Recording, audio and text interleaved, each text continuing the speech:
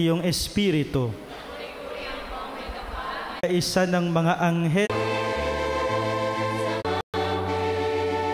bayani ay lubos na ligaw